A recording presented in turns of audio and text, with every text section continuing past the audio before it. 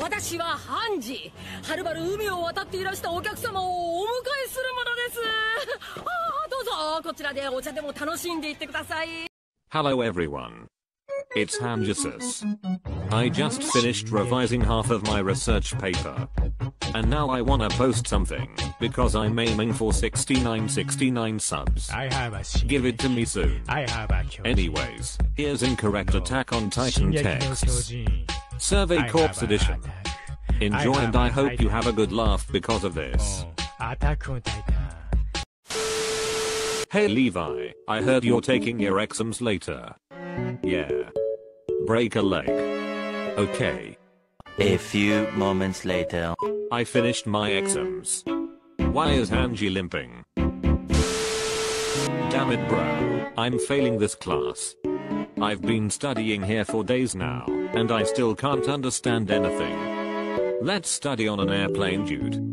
Why the hell would we do that? For higher education.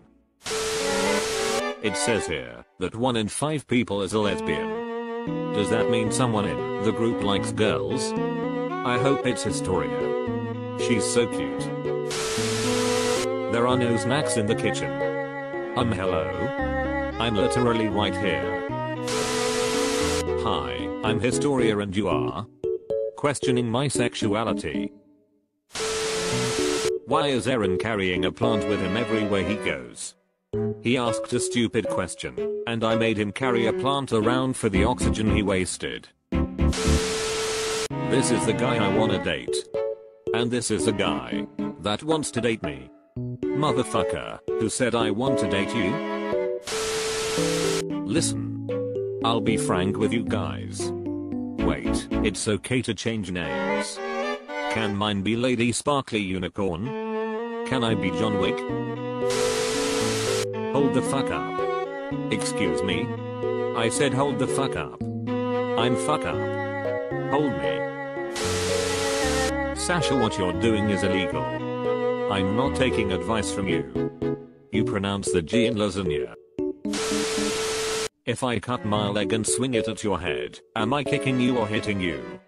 You'll most likely mentally scar me more than anything. Can you do a favor for me? I would literally cover up a murder you committed, plant my DNA at the crime scene, and take the blame for you. Can you do the dishes? No.